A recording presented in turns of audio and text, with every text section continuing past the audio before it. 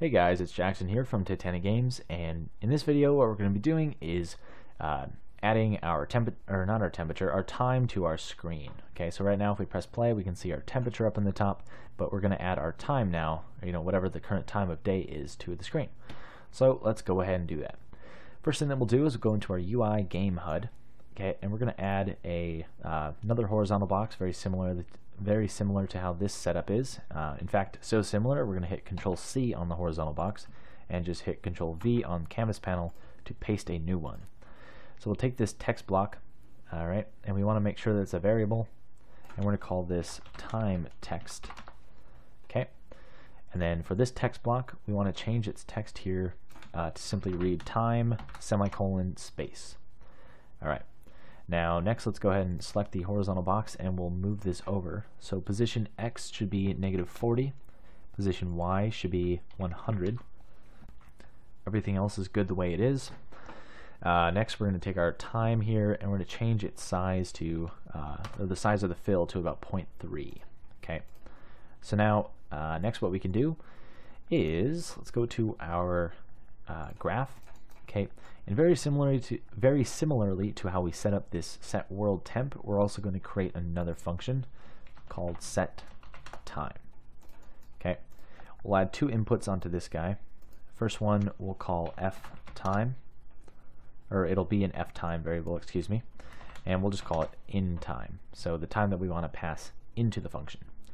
We'll add another one here of type e clock type that we'll just call type. Okay. Now for the in time, we're going to right click, promote it to a local variable so that it's easier to use. Okay. Then for our clock type, we're going to do a switch. All right, plug that in, and there we go. So now we're ready to, you know, do different things depending on the time or the the clock that we have. Okay, so 24 hours is the easiest to do, right? End goal here is we want to take our time text, get it, we want to say set text. Set text of text. We'll go ahead and plug that in and create some space here for us to work with. Okay, so in the last video I used what's called a format node, so we're going to do that same kind of thing here. We're going to right click and type format text. Okay, and how we're going to format this is we're going to say day space, then we're going to do a bracket. I'll get my mouse out of the way so you can see it better. Uh, bracket, and actually I'm going to hold uh, control and zoom so you can see it even better. Okay, so bracket uh, days bracket.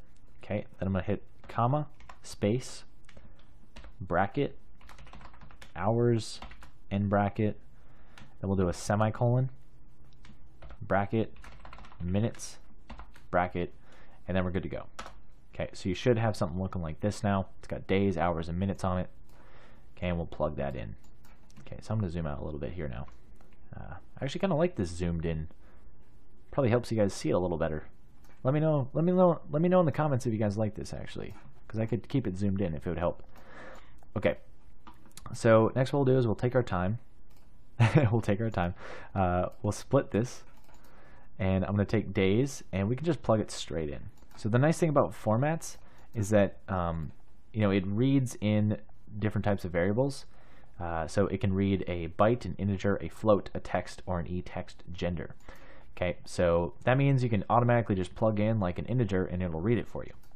Okay, uh, next what we'll do is we'll take our hours here, uh, and we need to do uh, something with the hours. Okay, and all that is is we need to take it and say to text. So to text int, click the drop down, and we're going to choose 2 and 2 for the min and max integral digits. Okay, so this, this is just how many digits that we want to show up for our hours. So basically, no matter what, we want, um, well, we kind of want, we want 2 to show up, right? Now, if you only want like 1 to show up, okay, so let's say that there is a, uh, you know, it's 1 o'clock or something, uh, then, you know, it would only show 1. But if you want to show 2, then it would say 0, 1 for 1 o'clock. Okay, so that's just kind of a little difference there. But either way, make sure you cap it off at 2. Okay, just for safety. Plug that guy in, and we'll do the same exact thing. Okay, so copy paste that. do the same thing for the minutes. Hook this up. I'm going to scoot it up a little bit. We'll add some reroute nodes in here by double clicking the lines to tidy up. take this, scoot it over, and there we go. We already have our 24 hour clock, so we can hit C, and we'll call this format 24 hour clock. Okay, there we go. Next, what we need to do is do the 12 hour clock, okay, which it's not very much different, but there's just a couple extra little formatting things uh, that we have to do. Okay, so again, end goal is we want to take our time text and say set text of text.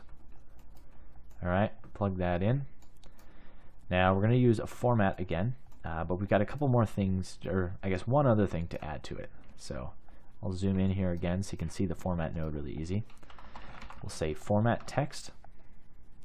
Okay, and similar to how the other one was, we'll say day bracket days end bracket comma space bracket hours oops hours end bracket semicolon bracket uh, minutes end bracket. And then we're going to do a space and we'll add one more variable here. So we'll say bracket am slash pm end bracket. Oh not a question mark slash. So I will add one more variable that we'll be able to you know add on to the text formatting to say whether it's AM or PM so we'll hit enter and that's how yours should look right now. So plug that guy in. I'll zoom out a little bit. Okay so now uh, what we'll do is we'll take our time now. We'll get it and we'll right click split it again. Now uh, days right we can just plug it straight in like before. Okay the next easiest one here is minutes. Okay what we'll do is we'll say to text. And that again I'm just going to use 2 and 2 so that it always has 2 on the screen at once. Okay now hours we're going to eventually use this node so we can just duplicate it plug it in. But we have to do a couple things before we can uh, you know determine our hours. Okay so since it's since we're counting hours in 24 hour time right uh, going from 0 to 23 that is we need a way to you know tell us when it's 12 o'clock all right? And then if it's 12 o'clock to kind of you know start us over at 1 kind of thing. So rather than doing like a branch or something we can use what's called a modulus. So we'll do a percent sign here and do a modulus or a modulo and we're going to enter 12 okay because there's 12 hours in a day and what a modulo does is it returns the remainder of a division okay so let's say that the time is 11 hours okay 11 divided by 12 will give us a remainder of 11, right? Pretty simple math. Uh, but now if we have, you know, if we're at 12 hours, it'll do 12 divided by 12 gives us a remainder of 0, okay, because there's nothing, okay? Um, so with that knowledge, we're going to take this and also do a less than. We're going to check if it's less than 1, meaning it's 0, okay? Because we need to account for the fact that when this modulo it has a 0 remainder, um, we don't want to you know output a 0 we want to output 12 okay so we'll take this and we'll do what's called a select okay so that'll pick uh, a value based on you know a condition so this first one we'll plug it in here for false and then for this true we'll hard code it to 12 okay then we'll take this guy plug it into the value and there we go that's all we need to do pretty simple uh, but like I said just a little bit different formatting so now we can go ahead and tidy this up a little bit. All right. Uh, oh, I guess we also need to take care of the AM or PM, so we'll do that in a second after we've added some reroute nodes here. So just double click to add those reroutes. I love reroutes. They always make things look so nice. All right. So let's actually let's actually take all of this and we'll move it out here a little more so we have some more space to work with. I'll zoom in again. Okay, so now what we're going to do is we're going to take our hours again, and this time we're going to check if it's less than 12.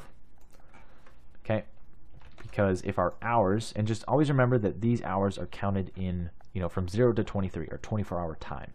Okay, so when we're checking if it's less than 12, we're checking if the hours are 0 to 11, meaning that that would be our AM. So we're going to do a select. Okay, now, uh, to get, you know, to make these a text, because we're going to make this a text so we can just directly plug it in, I'm going to drag out and say make literal text, and that will tell this node to be text values. Uh, but then just for like, you know, just for, for uh, you know, I guess clean, making this more compact, we can delete that and now we can just enter in the values directly onto the select. So if it's false, right, meaning it's above 12 o'clock or it's 12 o'clock or above, we want it to be PM. If it's true, we'll say AM. Again, very simple, uh, but just a little bit different formatting. Okay, I'm going to add one more reroute node here just to straighten it out. Okay, and there we go. Now we have our formatting for our 12 hour clock. So we can comment this out, say format 12 hour clock. We'll compile and save that. Now we'll go back. Uh, we need to go back to our weather manager here. Okay, we need to go find the uh, update current time uh, event. So we'll open this up and you see that all it's doing in here is, you know, it's setting the current time based on, you know, by determining our current time. So this is where we can actually just go ahead and call the function. So we'll take our HUD reference, which we created in the previous video, and we'll say set time. Okay, and that, obviously it takes in a time variable, so we can plug that straight in. And then our clock time will be whatever our time is here. So we'll take that, plug it in, compile and save. All right, now let's go ahead, and I'm actually gonna make our minutes per day a little faster so that we can see it in action a little better. We'll take this and in the details panel we'll take we'll set the minutes per day to like let's say 0.25 so it'll be really fast. Um, and then our clock time or type we'll leave it at 24 or 12 hour. So if you press play you see in the top right it's showing our time. And oh why is it doing that? Hmm. Well that is strange. It shouldn't be doing what it just did there. It shouldn't be resetting to zero. Oh well it didn't there. Let's see if it happens again. That's very peculiar yeah, hmm, not sure why it's doing it on the zero there. Could be, oh, it could be because, um, I guess, you know, our time starts at zero, but I guess that doesn't make sense because it wasn't doing that earlier. Hmm. Okay, well, we'll see what's wrong with that, but, you know, as you can see, it's, it's, it's working, um, like it's keeping track of our time, just the formatting's a little weird right now. Okay, uh, but if we check it out in the 24 hour clock, we'll see if anything's weird with that too, because uh, that might be an issue. So here we go, we're at 24 hour. We should get to 23 and then it should start over. 23, there we go, starts over at zero. The day increments, which is great. Okay, so, I mean, it looks like our 24 hour is working. The only one that looks like it needs a little work is the 12 hour. So we'll go ahead and figure out what's wrong with that right now. Alright, so after looking at it again, I just realized that I made a very simple little mistake.